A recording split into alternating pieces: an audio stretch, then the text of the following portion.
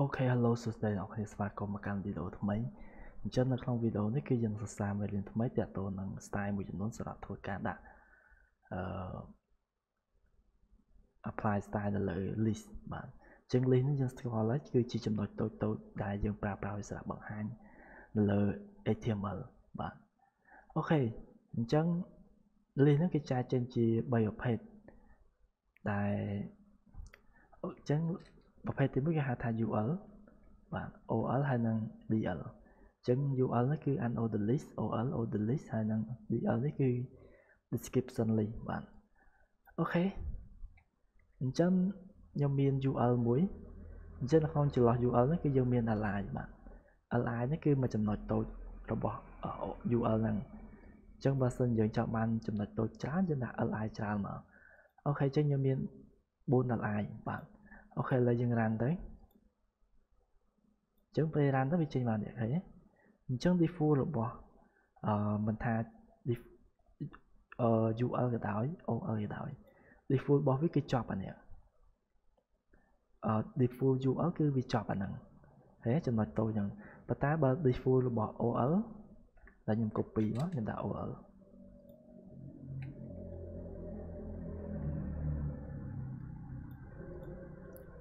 ចឹង default របស់ OL គឺវាជាប់លេខ1លេខ2លេខ3លេខ4ចឹងហើយបាទអញ្ចឹងវាខុសគ្នាចាលអា OL នេះគឺជាលេខគឺជាលេខដែលមានលំដាប់ដោយចំណែកនេះគឺអត់មានលំដាប់ដោយទេអូខេអញ្ចឹងនេះគឺជា default របស់វាឥឡូវឧទាហរណ៍យើងចង់កែប្រែយើងចង់បានណានឹងទេយើងចង់បាន default ទេមានថាយើងស្រឡាញ់ default របស់វាយើងស្រឡាញ់បែបផ្សេងឥឡូវឧទាហរណ៍អឺ OL នេះខ្ញុំអត់ចង់បានចំណុចតូចខ្មៅហ្នឹងទេខ្ញុំចង់បានរូបជាងរូបជាការ៉េបាទខ្ញុំចង់បានរូបការ៉េវិញអូខេអញ្ចឹងដើម្បីធ្វើបែបហ្នឹងបានគឺយើងហៅ UL មកបន្ទាប់មកយើងប្រើ property មួយឈ្មោះថា list style tag បាទអញ្ចឹង list style tag តយើងចង់បានការ៉េអញ្ចឹងដាក់ sphere មកចឹងអា list style ឋានជា property sphere ជា value អូខេចឹងទៅ refresh មកឃើញវាដូរឯងបាទឥឡូវថអានេះ OL នេះខ្ញុំចង់បានលេខ1លេខ2ដល់លេខ4នេះទេខ្ញុំចង់បានជាលេខរម៉ាំងឬក៏ ABC វិញបាទអូខេអញ្ចឹងយើងហៅមកដល់ OL list style type ជើថាយើងចង់បានលេខរ៉ូម៉ាំងធំជាងដាក់ upper roman ជាង upper roman នេះគឺមានថាលេខរ៉ូម៉ាំងធំហេឧទាហរណ៍យើងចង់បានលេខរ៉ូម៉ាំងទូចលេខរ៉ូម៉ាំងទូចគឺ lower roman បាទ different មកឃើញទេចាតោះវាសិនជាយើងចង់បានអក្សរ A ធំជាង A ធំគឺ upper upper បា ទ OK បាទចឹងអានេះគឺជា value ចឹងបើសិនជាខ្ញុំភ្លេចបិទអានេះចេះចេញដែរនោះ OK អញ្ចឹងនេះគឺជា value របស់វាអញ្ចឹងវាមានតាមនៅក្នុងហ្នឹងអ្នកនរអាចធ្វើការ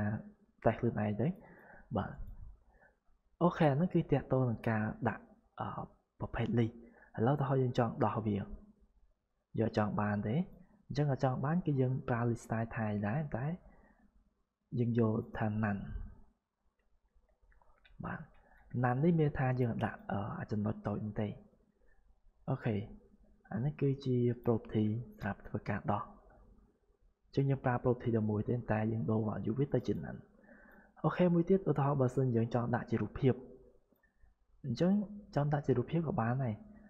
អូខេឥឡូវខ្ញុំមានរូបភាពមួយដែលនៅក្នុងនេះ នេះចឹងនេះជារូបភាពរបស់ខ្ញុំអូខេឥឡូវខ្ញុំចង់ធ្វើការ link វាចូលមកកាន់ list ហ្នឹងវាថាអាកន្លែងនេះខ្ញុំចង់ដូរវាដាក់ជារូបភាពវិញអូខេអញ្ចឹងដើម្បីដាក់ជារូបភាពគឺយើងប្រើប្រាស់ property មួយមានឈ្មោះថា list style type list style image បាទបន្ទាប់មក UL ចឹងនៅក្នុងចន្លោះ UL នេះគឺជាទីតាំងរូបភាពដែលយើងចង់ link វាចូលបាទអញ្ចឹងរូបភាពនោះនៅណាអញ្ចឹងវានៅក្នុង folder img/ ឈ្មោះរូបភាព purple .gis បាទOK run មកឃើញទេវាចេញមកហើយបាទអានេះគឺជា style property សម្រាប់ដាក់រូបភាព OK អញ្ចឹង ទាក់ទងទៅនឹង CSS list ហ្នឹងគឺមានតែប៉ុណ្ណឹងទេអញ្ចឹងបើសិនជាមានចម្ងល់អីផ្សេងផ្សេងទាក់ទងទៅអាហ្នឹងអាចធ្វើការ comment នៅខាងក្រោមវីដេអូ OK អញ្ចឹងអរគុណសម្រាប់តាមដានជាមួយវីដេអូមួយនេះអញ្ចឹងយើងនឹងជួបគ្នានៅវីដេអូក្រោយបន្តទៀតបាទអរគុណ